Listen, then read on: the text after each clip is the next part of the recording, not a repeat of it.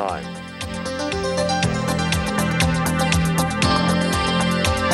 It's time. And now it's time for Herman and Sharron. Yes. I love you. Thank you for joining Hi, joining everybody. us. Join me right over here, honey, because Okay. we have We an walked over here. amazing guest today. Mm-hmm. Uh, reading his book yesterday just infuriated me. But anyway, I'll calm down. By the way, that reminds me, Sharron, since we have an officer with us, Yes. your The friend, Bible again? your friend out in Arizona. Actually, she's my cousin. Okay. Helen Schrock out in out in Arizona. Hello, Helen. Because I She was called so yesterday. upset. I, my uncle, uh, who is in uh, federal prison, uh, wanted a Bible, and so I got him autographed Bible and everything, and did all of the th- gymnastics that the prison system required me to do, and got the box back rejected. Mm-hmm. And so I'm all upset because I said if it was a Koran, Koran. They would have. they would have probably hand carried it to the prisoner. anyway, she explained that the reason they would not accept it because it's not a hard cover actually, but it's it. I guess they could make a knife out of this. Okay, that, it's, that- it's hard enough that Yeah. they probably wouldn't take it. and and so they rejected it. That, That's what she feels. They didn't say anything on the box. You know, you'd think they would tell you. No, they don't have Okay. time for that. No, but anyway, uh, so I'm going to I'm going to go the soft cover. So thank you, Helen, for Helen for telling us that. And, And we're going to go get a soft cover one and see what happens. hopefully it will, you know, is that or I'll write across the front of it Koran, and then they'll go ahead. and Oh, get stop. Okay. we have a special guest. This guy is absolutely a miracle. Yes. James Wischer Jr. is a crimes against children detective with a local county sheriff's office in southwest Florida. His story is one man's journey from a victim to victim to a victor, and that's for sure. At the age of four, his mother married a child predator, and that's what he's going to be talking about. What Wow. happened because of that? The stories in this book, and you have a, ch- a chance to go to the website and get a copy. Yeah, there's the book. It is absolutely, absolutely. Let me say it again. Absolutely amazing. Yes. Thank you Good for morning. being here. Thank you. Good morning. What an honor. Nice to meet you both. Hello, James. Yeah, hey, uh, Dave, I don't know if you can get a shot of this. This is pretty neat. Detective James Wischer. Uh, th- this is the card, and, and he is a full fledged, actual, believe it or not, right there, detective. Look at that. And Didn't of, think I'd ever meet one. of all things, a detective taking the very people off the street that your stepfather did to you on a regular basis. Precisely. I can't. That I mean, my job. thi- this is this is like amazing when I when I think of that. Yeah. That you know, it's kind of like a, a person that was, you know, never had the money for a, an attorney, and they become attorney so they can help people. Yeah. Uh, you know that that had no money because they want to help individuals. But you're Right. in the same kind of thing where where you're going after individuals that are absolutely they're monsters. Indeed, they are. Wow. Uh, front of the book. By grace, he survived 10 years with a child predator. By providence, he now hunts them. I mean, that, that is just, That's the story right there. that, that could be only God. Yes. Uh, some of the chapters, I mean, just, it's amazing how uh, this book develops. Uh, chapter one, uh, the happy years, and then it goes into the divorce, and then the happy years end. And uh, all of a sudden, you're introduced, and this is what your mom says Boys, say hello to your new father. And then the nightmare begins. That's How when many it begins. children were in your family? There were five at that time. A sixth one came later between the two of them. But uh, we mingled and there were five. Okay. you have to you, you have to read this book. I, I I can't cover a lot of it. You won't believe it, but you wrote it. I wrote it, every word of it. that was my it, life. It had to be hard. Yes, it was. Um, a few years ago, we decided that it was time to prosecute the bad guy that hurt us. Oh, and so we had to write affidavits, uh, some of my siblings and I. And while we were writing, we had not discussed these things for 30 years, probably. Wow. And um, as I was just pouring it out on paper, it felt right. Uh, I mean, it felt like, you know, I should have done this a long time ago. This Yes. really happened. Yes. This needs to be told. Because after you, he had to be doing the same thing. Absolutely, They, they don't yeah. all of a sudden They- wake up one day and said, "Oh my goodness, I'm a new guy." No. So he abused not just you, but the, all the children in the family? Um, to my knowledge, at least four out of the six, possibly five out of the six, but for sure four. Wow. Did it start right away? It did. Um, within, uh, oh, I'll say weeks. Now, I was very young, so forgive me the time exactly, but um, within the first few weeks, he was. Age, age what? I was about four when we first got there, a- about to turn five, so in that neighborhood. But um, he was physically abusive towards us as we had never seen in our life immediately. And then um, just within those. now, physically abuse. What does that mean? I mean, like a slap or a punch? He was mean. He was mean. It wasn't verbally that- mean.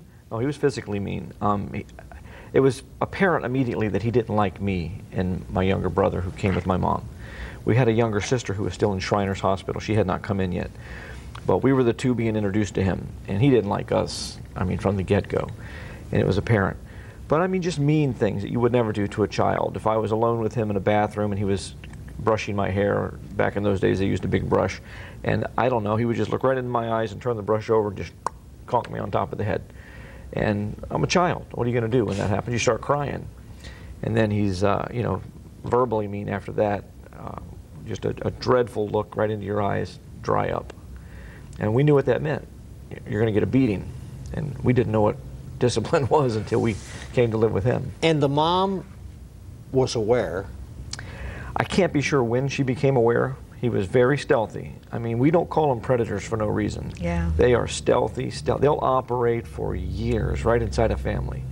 And almost every time I go to a family as an investigator now and say that I'm investigating a member of your family, allegations have come out. Almost 100% of the time, they say, absolutely not. There is no way. This is an upstanding citizen, member of, of the community. Um, there's just no way. He Well- goes to church, and then when we start showing them evidence or admissions, their knees buckle because they, it, they never knew. I was right in front of them, but they never knew. He began to strip and demanded I do the same. Raped and threatened, if you tell, I will kill your mom. I will kill your mommy, and you will never see her again. Those are his words. So Now, was he good to your mother during this time when you? He, he seemed to like her, but he was also abusive to her. I mean, we also got a front row seat to, to some of the abuse that she had to take as and well. she had to cover the bruises with makeup. Yeah. So we saw that enough as well uh, to at least know she was being victimized. But um, She didn't meet him in church, I hope. no, she worked for him. Uh, My, her- Oh. my father and her split when I was about four, and right about the same time she was working for him. And It, it, uh, you know, this this is a little off track. Sidebar here. But so many women go through a divorce, and they get hooked up. I mean, I'm reading a story about a a uh, well-known uh, singer, writer, and his mom hooked up with a respectable dentist. Mm-hmm.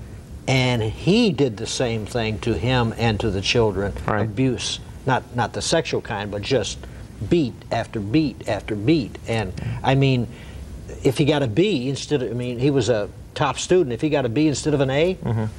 I mean, a horrendous beating. So I'm, I'm thinking to myself, how do these ladies, these moms, hook up Why with do they these have monsters? to have a man? Wha- wha- I mean, they've got to have a man. Yeah. I mean, it's like I got to have a man. Yeah, so for, for some reason, the chemistry between the two of them trumps everything else. I, I haven't been able to put my finger on why, but it happens more often than not. There are far more children being hurt in our country than most people know. I mean, uh, the Department of Justice will tell you that uh, about one out of four girls, one out of six boys, roughly 20% of our children are going to be sexually molested in some, to some degree by the time they reach age 18. That's a whole lot of kids. That's a whole lot of victims, and it's a whole lot of perpetrators. He did something that you say in the book is normal, where he took you away from your grandparents, Mm-hmm. and and Isolation. Yeah. a- and you loved your grandparents, Oh yeah, and they loved me. and they were like this the safe island that you could go to. Absolutely. And- I didn't ha- really have to know a safe island in those days. Everything was safe in those beginning years. Everyone loved us and took care of us. And the grandmother, grandparents on my mother's side reared us, while the grandparents on my father's side just doted on us and spoiled us. So it was a good life for the wonderful first four life, yeah. years. Um, I just, when we went into the nightmare, I always hoped that Grandpa, Grandma Wischer would show up and And they did one time. And they did. uh, surprisingly. And and they even said, sitting there watching, because they, they knew you guys and Yeah. loved you, and you loved them, and would run to them, and, and like grand, grandparents are. absolutely. And they said, these are not the kids that I knew. And so, what did he? I well, mean, well, we had already become believers that we would be injured. I mean, I'll kill your mommy wasn't the only threat. There were horrible threats against us as well. And I'm an adult now. I know that he never would have done any of that stuff. He was a coward. But when you're four, you believe Sure. those, the big people. And so we were convinced that we better keep our mouth shut. Mm-hmm. And so when we walked into the room, it was a great surprise to see them sitting there. It was a, it was a surprise visit. They just showed up. But we knew. And we just stood there like zombies and stared at them. And that's when they knew that what Something's going is on. going on here? This is not our boys. and then, you say it in the book again. He did what they do. He left town. yeah, You, we, you went to Louisiana, yeah, we got out of there. I mean, quick. It was. or was oh, it you mean he- Mississippi? He, took Was you it- the whole yeah. family yeah, away. Oh yeah. because he was. They were getting close to Yeah. They were finding get- They out. were getting smart. Yeah. Yeah, I said uh, it was a loose end to him that we can't have people just popping in here. So it was off to uh, Louisiana, and Anytime he wanted sex, he just oh yeah, he had all kinds of children in the house. Um, we have sexual predators and and um, offenders categorized in about a half a dozen. They usually fall into about a half a dozen categories. And this guy was the worst of the worst. He was what we call a sadistic child predator. He had no preference, male, female, age. I mean, he was just a violent, violent man. And, um, And you say there was uh, there was uh, pornography in the house. Oh yeah, all the time. Uh, sex was a punchline. It was never taught in any correct context to the children. Did we you were just left to figure it out for ourselves. Did you ever look into his history? I mean, what made him the I, way he is? I knew all of his people. I knew his brothers and sisters and his parents. As a matter of fact, they became loving grandparents to us as well, and lots of aunts and uncles who loved us, and extended family. Um, I never saw any evidence that anything happened to him, or any of his other brothers and sisters showed anything like that. But um, so I don't know if something happened to him or if he just decided, I don't care what the consequences are. This is what I want. I'm going to do it. And many times that's just it. It's just a choice. Now you were saved in a Baptist church, Yes, I was. and the sexual abuse continued. All for many years. Were you crying out to God to help you? For every one of those many years, I, I prayed daily for help. How many years did this last? About a decade. Wow. And was it daily or or uh, and, and I know you, you you talk about in the book where you would do certain things hoping to change his mind about having sex with you. Uh, you would try to create a a buffer or whatever. And and then there came a time when you said I've I'm going to get either sex, which I hate, or a beating. I think I'll take the beating. That, that was the last time. That was, well, that was the last time that uh, he physically attempted to rape me. I was about 10 years old, and I said, "That's it.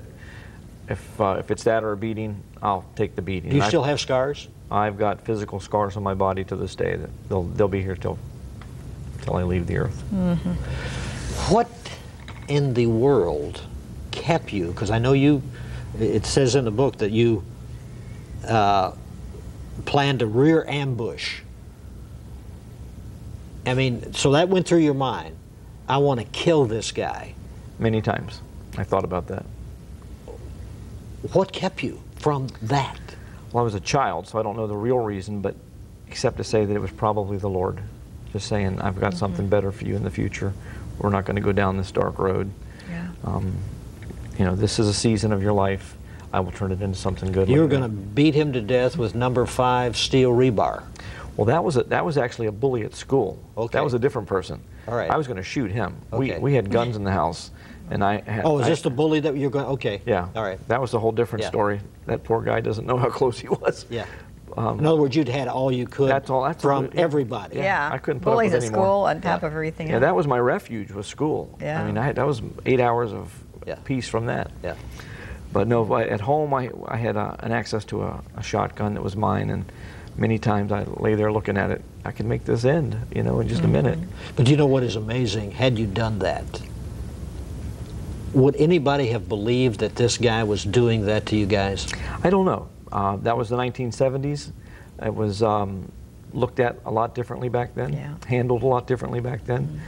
There were, the only thing I would have had in my favor is my siblings. They were witnesses Yeah. to all of this mess. So I don't know what would have happened to me. I'm sure it would have train wrecked my life, though. I, I Oh, would not absolutely. be sitting here as a detective saving children right now, now. what brought it to an end? You said you would have been, what, about 14? About 14. So what caused it to stop? Uh, my mother left uh, in July of that year, the summer of that year, and we went back to Kentucky to get, to get away from him. I believe she may have seen something or walked in on something. Anyway, we left. While we were gone, we reconnected with grandparents and relatives that we had been cut off from. And it was during that time that my grandparents said, That's enough, you know, no more running away, because she had come before. She had left before and, and went back and surprised everybody. So this time they said, We're going to call your father. We know where he is. He's in Florida. And we're going to know where you guys are all the time.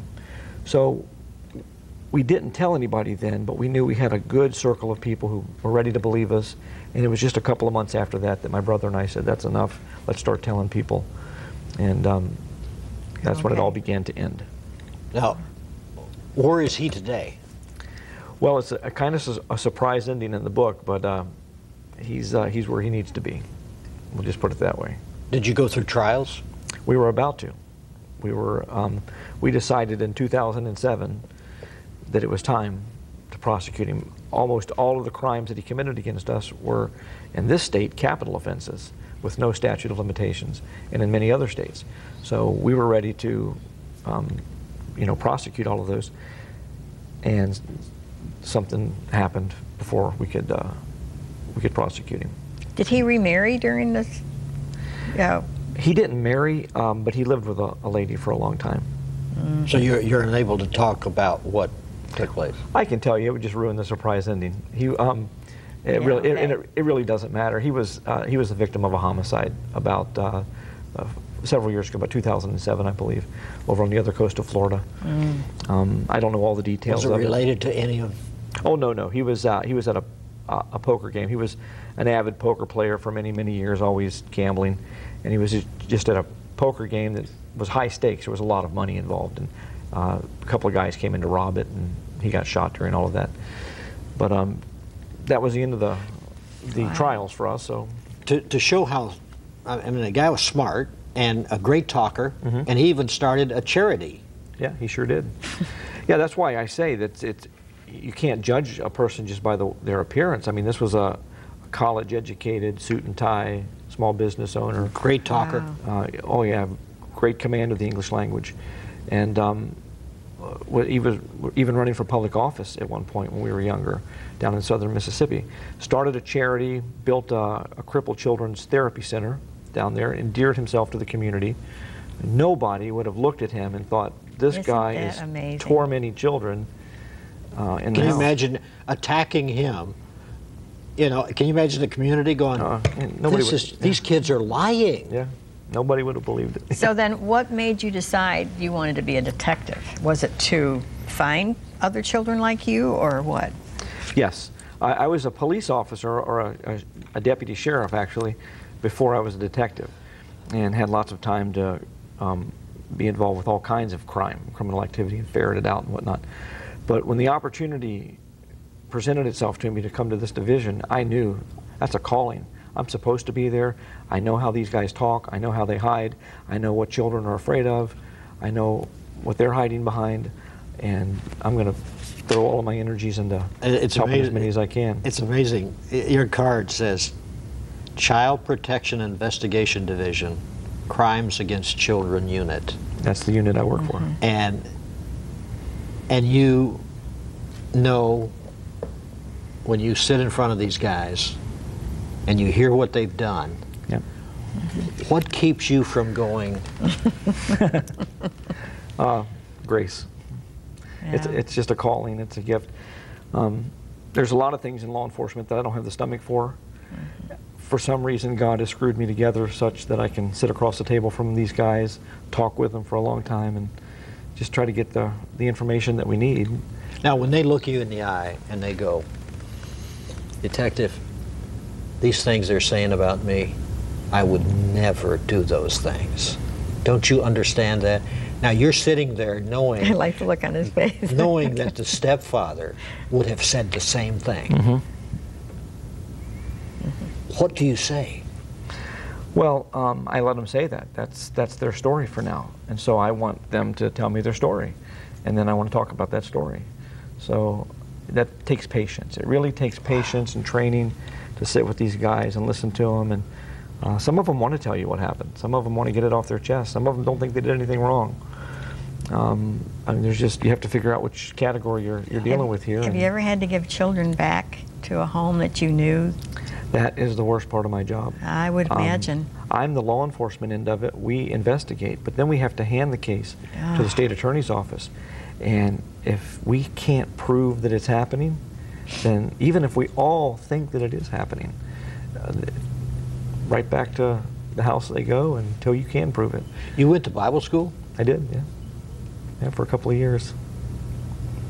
and you met your wife.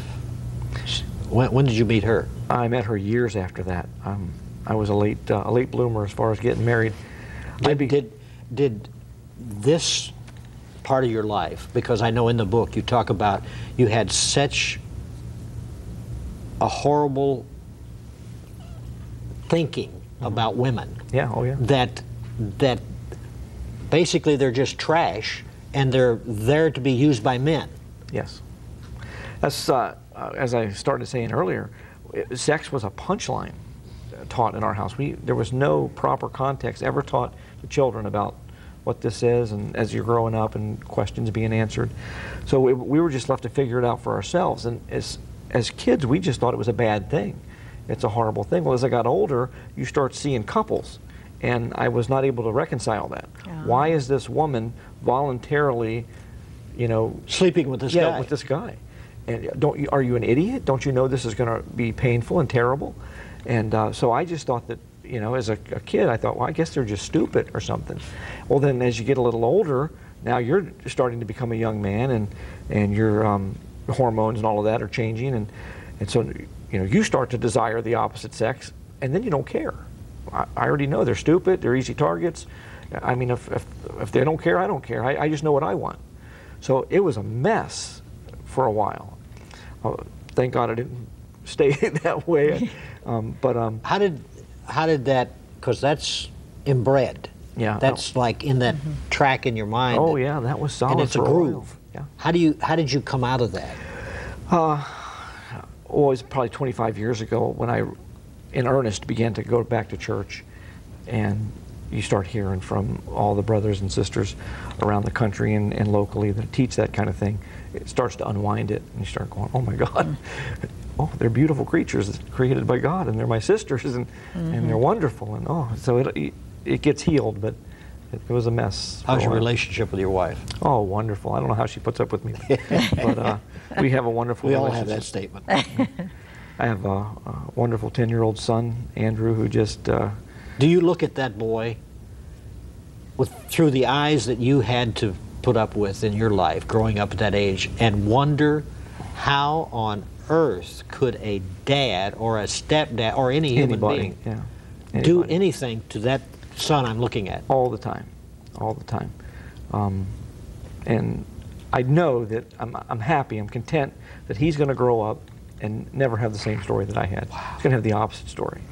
He knows that dad loves him and will never stop loving him, and he knows that. And Yeah, that's great. What a miracle you are. Mm-hmm. I mean, you should be so filled with rage and hate and I would- murderous thinking. I would still be in a mess if I was. Yeah. I mean, the and, and this is part of the message is lots of guys are my age that were victims of this and they are enraged and they are mm-hmm. addicted to chemicals and shipwrecking their lives. Yeah. And healing begins with standing taking your stand next to Jesus and saying you're you're my help. You're the one that will save me and walk me out of this. And he'll tell you, look at that bad guy and forgive him. And then you'll be free. And that's when the freedom begins. That's when the healing begins. That camera is yours. Tell somebody about Christ right now. If, especially if you've gone through anything remotely close to what I've gone through, um, you can remain imprisoned to it as long as you want. The key is in your hand. It's forgiveness. And it's given to you by only one person. God sent his son to save us all, but he loves you. He loves you right where you're at, and he loves you too much to leave you there. And you can go in any direction you want to find help, but you're looking, the proof is in the pudding. My life is well. I am healed. I am happy. And you can be too.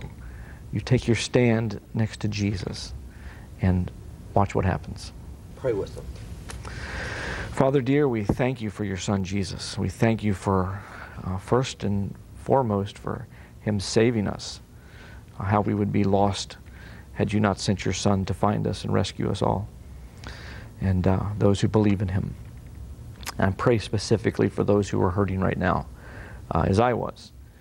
And uh, that this little message that we had today will somehow get in their mind and turn their focus to you. And that they'll find you and uh, begin that journey home to wellness, wholeness, and freedom that I found.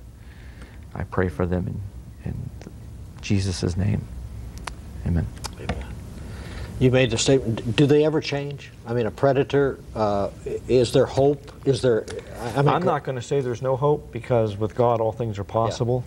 I don't see it a lot. Yeah. Usually, a, a person's gone that far down that dark road. Uh, it's it's difficult. I've never I've never seen them turn back, but anything's possible. There's the opportunity on the screen. Get your copy. You won't believe. We only covered the surface. Get your copy. God bless. Bye bye.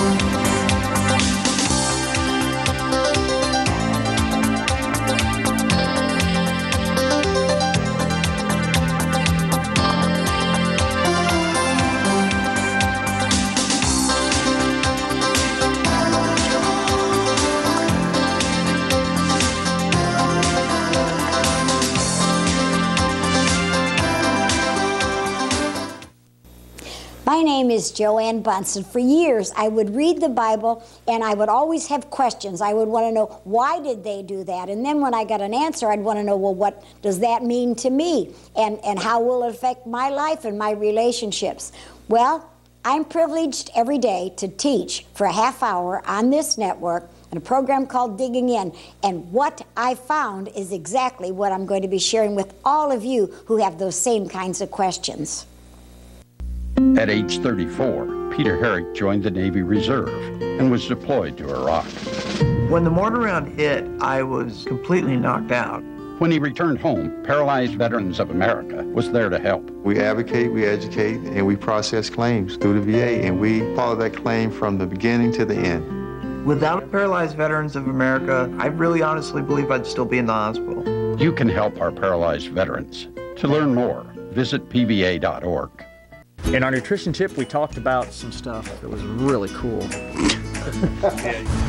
Oh, burning. Burning. Because it's a heart, we can like run and like on the beach. or or not. Oh, my thighs got too heavy when I hit the mat. So get plenty of salmon. Oh, can we start again? My mic just fell down my pants.